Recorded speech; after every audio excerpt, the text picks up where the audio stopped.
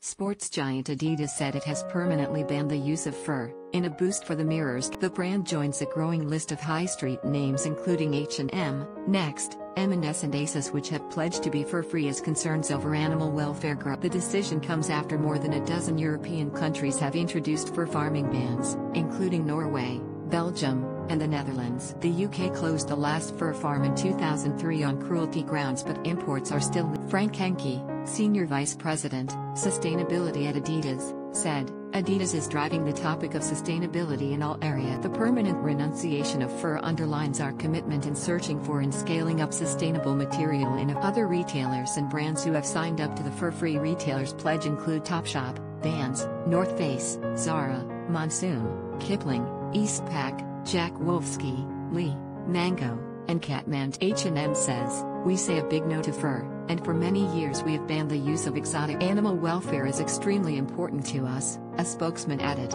New Look said, We don't believe it's ever acceptable to harm animals in the manufacturing or testing of products and we think having excellent standards of animal welfare should go hand in hand with creating amazing. We've developed an animal welfare policy to cover all the products we sell so that our customers can get the look of fur, leather, exotics, suede, wool or silk without any harm. More than 100 million animals die for their fur each year, the majority suffering in small batter. Some 72% of Brits disapprove of the killing of animals in what many brand a cruel and out and a huge majority of us, 93%, have never worn or no longer wear fur. A YouGov poll Claire Bass, Executive Director of Humane Society International UK, which is campaigning alongside the Mirror to ban the sale of fur products in the UK, said, We commend Adidas for taking a public stand against the cruelty of fur. Every time a leading brand commits to a fur-free policy, we are one step closer to a world where millions of animals no longer endure a lifetime of suffering for the frivolity of fur.